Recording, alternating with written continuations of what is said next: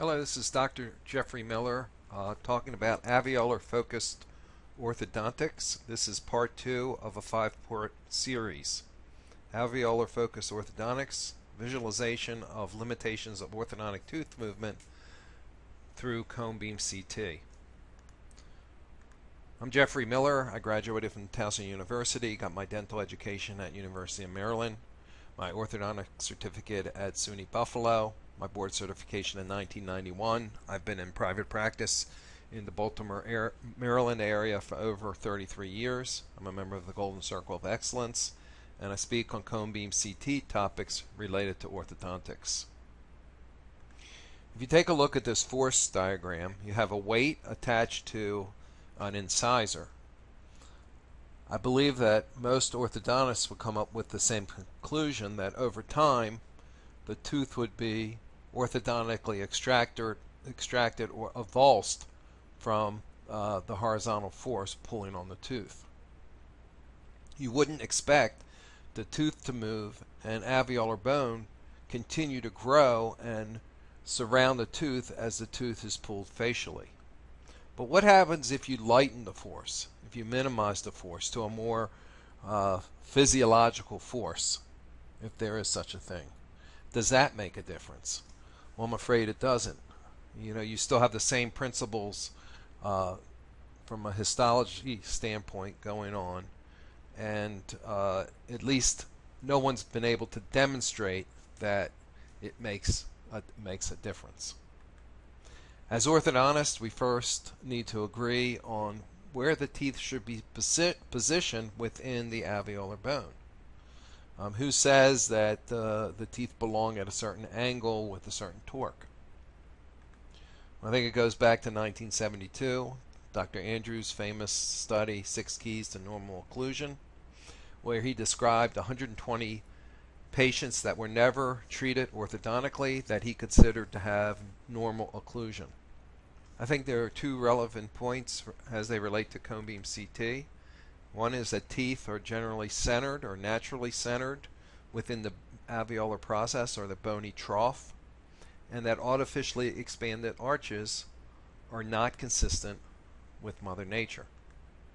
Uh, this is Dr. Razai. Dr. Razai at the time was a general dentist. She happens to be an orthodontist now who practices in Kansas. Uh, she was treated in 2008 by an orthodontist in Florida that believed a wider, broader arch was much more attractive. So he used arch wires to express that treatment philosophy. Now, is this a well treated case? And if it's a well treated case, by what standards are you measuring uh, the success of this result? Certainly, the clinical photos look good. But if you take a look at our first molars from a coronal view, you could see that they're overexpanded. They're past the limit of the bony housing. And when you compare Dr. Razai's to Alex's coronal view of the first molars. Alex never had orthodontic treatment. You can see that his molars are fairly well centered within the alveolar process, very much the same way that Dr. Andrews back in 1972 described the ang angles that are formed from the clinical crowns of the teeth. Very consistent. When we talk about cone beam CT, cone beam CT gives us the ability to visualize the cortical plates that surround and support the teeth. When you this is the same patient, the same scan. This is a 77 millimeter focal trough versus a 0.2 millimeter focal trough. You can, with that smaller focal trough, you can get down to a single tooth and its bony support. This I'm showing uh, from a sagittal view, but you can of course look at it from a coronal, and an axial view as well. If you take a look at this diagram, you, here you have a patient with a Class 2 Division 1, and uh, here's the simulated result.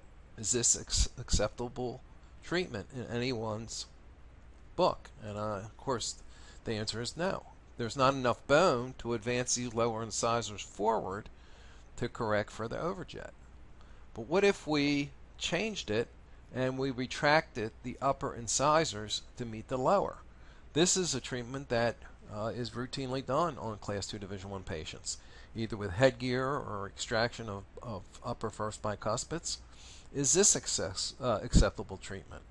And I think it depends. It depends on how much bone is there to support those incisors in the retracted position. All men are created equal. I don't believe anyone would have a problem with that statement, or I hope they wouldn't have a problem with that statement. However, uh, bone is not. Bone not only varies uh, between different individuals, it varies between the same individual in different segments of their arch. All three of these patients need retraction of the upper incisors. This patient on the far right has a lot more bone to retract those incisors, you know, distally than this patient on the on the left. Especially if you're going to intrude and retract versus extrude to close an open bite and retract, this patient really wouldn't have, if it was an open bite, would have uh, a worse situation. If we take a look at this first patient, this is a, an adult African American patient, bimaxillary protrusive. She wants her uh, uh, uh, anterior teeth retracted and she wants a flatter profile. This is the upper right central incisor and here's the upper left central incisor. And this is these this cone beam CT. You can see their brackets on the teeth. This was taken the day the brackets were put on. At this time we took this, we were using uh, and pans, and because of we were considering extracting in this case, we ended up taking uh, a cone beam CT. And what about the the anchorage requirement for a patient like this? If you're going to try to retract the upper and lower incisors to flatten the, them out, uh, do you want to maintain maximum anchorage or minimal anchorage based on these alveolar processes or the or the housing? Here's the uh, result. This is uh, photos taken about two months post active orthodontic treatment. Teeth are lined up nicely, and here is her post treatment cone beam CT. And you can see this is the upper right central incisor. It was retracted. Looks like the apex, facial apex of the root dehisced slightly. But remember the um, the upper left incisor had less bone to start with, and here's what it looks like post active orthodontic treatment. And I don't believe that this present any kind of clinical problem because when you look at it from the axial and coronal view, uh, it gives you a better picture that there's fairly good bone support there. Here's a superimposition of the upper left central incisor and pretty much what you would expect to happen happened. Now we um, made a conscious effort in this case to burn anchorage up. We weren't looking for mac maximum anchorage because the, the housing for these incisors or the alveolar process for these incisors were thin to begin with. If you take a look at the lower incisor, you can see how it was uprighted and you know I think this is what you would expect to happen. So what's the point of all this? And why does it why is it meaningful and why is it mission critical to anyone that is moving teeth orthodontically? Well, because if you move the tooth through the limit of the cortical plate, you're going to create dehiscence and fenestration. We look at uh, his, histologically, you can see we get osteoclastic activity on the compression side of the periodontal ligament. You have a force pushing the tooth this way. And on the tension side, you have osteoblastic activity in the periodontal ligament space. That's fine as long as the tooth moves through the bony trough or the bony highway. But once you start putting a buccal or lingual force on the on the tooth, the leading edge of that root is under compression. There's no opportunity for that ligament to go into a, a tension situation so you really only have an opportunity for osteoclastic activity and get that produces the dehiscence or fenestration. Uh, this is maybe a little better explanation. This represents the sagittal view, the coronal view, and the axial view. From the sagittal view, you have the tooth starts out centered within the alveolar process, you have the force pushing the tooth. You get uh, the leading edge of that root dehiscing through the cortical plate. But then look what happens to the bone on the lingual. It resorbs. There's an active uh, adaptive resorption of that bone. So at the end, the tooth still appears to be centered within the alveolar process. But it's not. You push the root through or dehisce the root through and got adaptive resorption on the lingual. If you take a look at this, this the slice was moved over so that you could see a better outline of the cortical plate. You can see here's the cortical plate and here's the leading edge of that lower incisor. It's clearly dehisced. Move the focal trough back to center it over the pulp chamber. You can see that the tooth still appears to be centered. You don't see the extra bone that once had to be on the lingual of that tooth. The tooth was brought forward, and then you got the adaptive resorption of the contralateral side. In this case, clinically, this patient had a tissue dehiscence. So we know that this is what a dehisced tooth looks like. From a coronal view, it, there's not going to you're not going to see, or a panoramic view, it's not going to look like any different, because the height of the interseptal bone really doesn't change at all. And from an axial view, and I think this is probably the most telling, you have the roots centered within the alveolar process. You have the force that creates the dehiscence, but some of these uh, ligament uh, fibers are still under tension. There's a there's like a tangential fibers that cause flaring of that bone. So you, you know the the cortical plate isn't just a wall that you perforate through. It does make uh, some adaptive changes, and you get this little bit of flaring, and then you get the adaptive resorption on the lingual. So the tooth at the end still does appear to be centered within the alveolar process.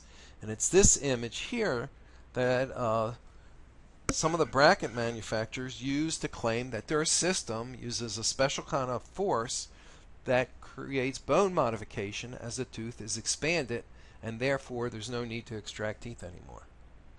It's uh, it's looking at the image and coming up with the wrong conclusion. You got a dehiscence and adaptive resorption on the lingual. And you can look at those uh, cone beam CTs that these manufacturers show I know one of them took them all down from their website at some point, and you can see that the roots are clearly dehisced. And here's that same patient. You can see the that lower right lateral incisor uh, is clearly dehisced, but it's not a straight alveolar cut. It flares out. You see how it's flaring here, and then you don't see any excess bone on the lingual. Here's that same patient 15 years post active orthodontic treatment. Uh, she came in because her lower lingual fixed retainer was broken. Uh, this is the reconstruction of the pan and ceph. And other than the supernumerary tooth up here, everything appears fairly normal. There is, uh, I don't believe there's any way you can look at the ceph and tell that tooth number 26 has dehiscence.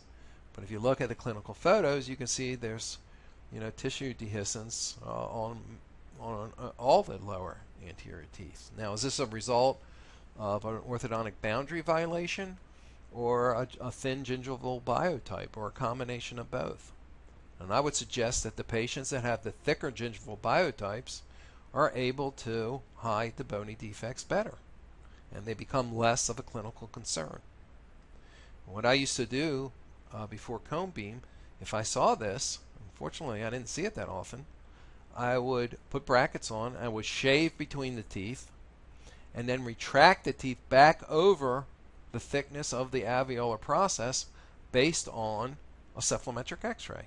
It probably wasn't a good idea because if you thin out the focal trough of that cephalometric x-ray, you get an adaptive resorption of bone. Uh, there's really no place to, to maneuver that tooth. Steve Jobs says deciding what not to do is as important as deciding what to do. And I think that's a very good rule to follow in orthodontics. Uh, thanks so much for listening. Uh, if you have any questions or comments, you can always contact me at drmiller at orthodonticassoc.com. Thank you very much.